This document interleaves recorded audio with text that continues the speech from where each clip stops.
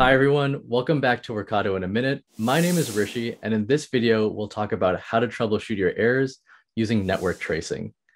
Troubleshooting is one of the hardest and most drawn out parts of building and testing any project.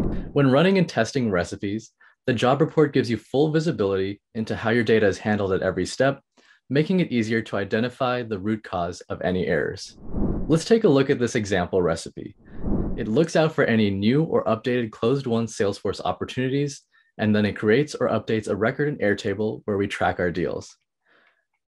When I run this test job, it lets me know that the recipe fails at step four, and then I'm getting this 422 error message. Unlike other job reports, where I can see the input and output data, I don't have much information to go off of. So how do I get more information to find out what went wrong?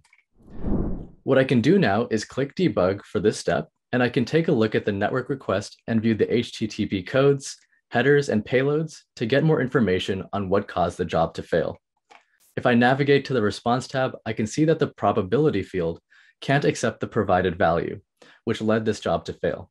Now that I know where in this step the error came up, I can go back to the recipe editor and try to make the relevant fix. So if I go back to the recipe, and if I take a look at step four, I can see that I have a date time data pill in the probability input field. I can swap out the pill for the one I want and save the recipe. Since the recipe caches each business trigger event, I can test my fix directly from the job report without having to manually reproduce the trigger.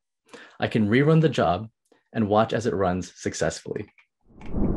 And there you have it. Debug your recipes and take troubleshooting under your control using the job reports and network tracing. If you have any topics that you'd like us to discuss in future Workato in a Minute videos, please drop us a comment below.